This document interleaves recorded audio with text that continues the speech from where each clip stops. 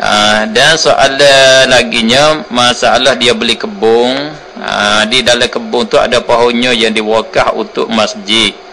Orang dulu ya dia nak buat bekal dia nya wakah pohonnya tu untuk masjid. Uh, apa tu uh, kita orang beli ni lagu mana? Minta beli dengan masjid boleh ke tak pohonnya tu? Takut nak bertukar dengan pohonnya orang duk naik ambil tu kita nak buat agama. Kita tak ada lagi suruh orang upah naik. Ya orang upah naik nyolah ni. Gak ya pakai naik. Pakai ambil buh kereta mari bayar duit ya kita. Pohon tu kita tak tahu dah ambil hak mana.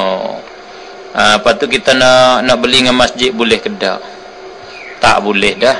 Ha, pohonnya tu ha, dia panggil jadi pindah milik orang tu kepada milik Allah Subhanahu Wa Taala. Tak boleh tetap dak jadi hak dia. Kita kena beringatlah Nah, hak, hak dia tu dia lah. Kena kehasilan dia tu kena naik kepada masjid hak dia wakah tu lah. Ha, tak boleh kita nak tukar dengan cara beli, dengan cara heboh, dengan cara kita bui banyak hak lain. Kita bui hak kebun kita hak dekat masjid ke. Ha, nak tukar bui duit mahal ke. Tak boleh. Ha, tak boleh kita nak tukar.